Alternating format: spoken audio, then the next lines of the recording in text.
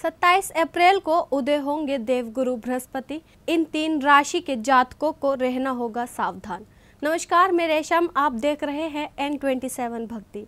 ये तो हम सब जानते ही हैं, देवगुरु बृहस्पति अस्त अवस्था में ही 22 अप्रैल को मेष राशि में प्रवेश कर चुके हैं।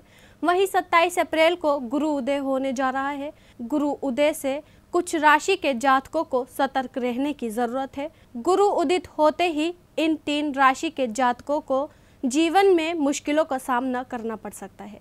आइए जानते हैं कि वो तीन राशि कौन सी है। वृषभ राशि।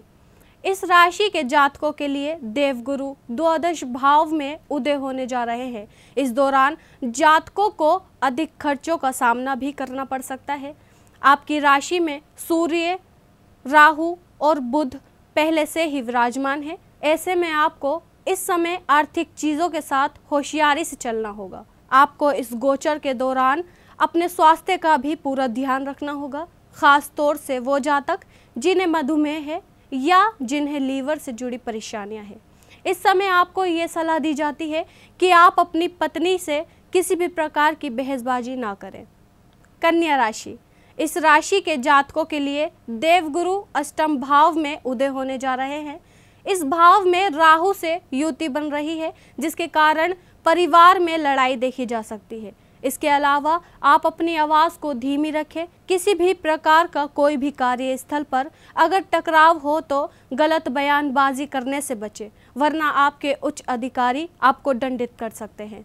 इस समय आपको अपने ससुराल पक्ष से कोई भी आर्थिक लेन देन नहीं करना है। वृश्चिक राशि इस राशि के जातकों के लिए देवगुरु छठे भाव में उदय होने जा रहे हैं, जिसे शत्रु का भाव कहा जाता है।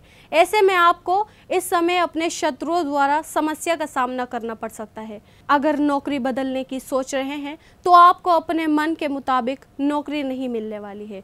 इस समय आपको अपने रूटीन को नियमित करना होगा, वरना पेट से जुड़ी बीमारी से आपको दो चार होना पड़ सकता है। इस समय आपको ये सलाह दी जाती है कि अपनी पर्सनल बात किसी से भी शेयर ना करें। उम्मीद है आपको आज की हमारी ये वीडियो पसंद आई हो। ऐसे ही तमाम जानकारी के लिए जुड़े रहे एन ट्वेंटी सेवन भक्ति के साथ।